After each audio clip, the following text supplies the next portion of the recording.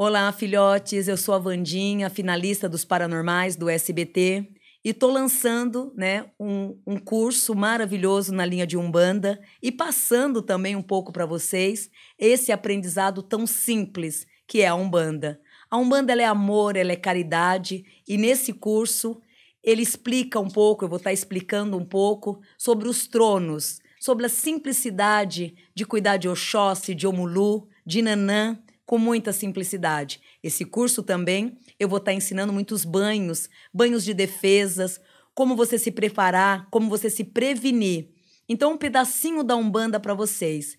E olha, aqueles filhotes, os 50 primeiros filhotes que chegarem primeiro, vai ter um desconto aí muito especial. Tá bem? Conto com vocês. Axé, filhotes. A gente falou com várias pessoas que têm algum tipo de dom, algum tipo de visão e tal, e dentro da história é muito diferente uma da outra. Eu queria saber se, se você é espírita, se você não é espírita, como se você tem um guia espiritual, quem fala no seu ouvido, como que você acessa isso?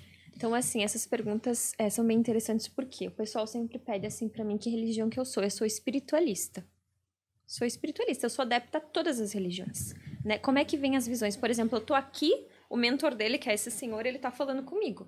Entendeu? Tipo assim, eu tô ali e o, e o espírito do mentor dele tá falando comigo. Só que eu tenho, eu sempre digo que eu tenho uma cigana. Mas não é que a cigana tá ali, vestida, enfim. É um espírito que ele me passa as informações. E dependendo do local, que nem aqui hoje, quem entrou foi ela. Mas tem lugares que quem entra é outro espírito. E eu sou médium de vários âmbitos, não é só de um de passagem, de ouvir, de visão, de psicografia. Então a minha cabeça quase explode. Eu não sou, é que nem a Vandinha relatou.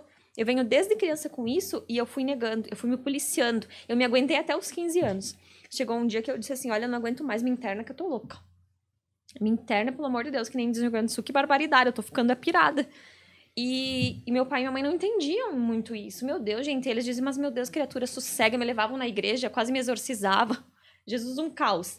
E aí, até que eu entendi que aquilo ali era mediunidade.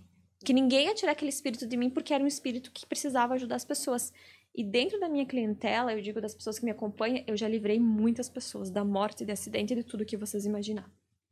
Vem aleatório. E é uma coisa que até hoje eu não sei trancar. E eu não sei absorver. Por exemplo, assim, eu vou sair daqui depois, eu vou ir comer, vou em algum lugar. Eu não consigo ficar nos lugares. Eu desmaio. Eu sou que nem um bichinho do mato, literalmente. Eu fico só no meu apartamento atendendo online eu desmaio, eu passo mal, meu coração acelera o tempo inteiro, eu tenho que correr pro hospital, tô achando que eu tô tendo um treco, porque a espiritualidade é muito grande em mim. Então, assim, não é fácil carregar essa bagagem.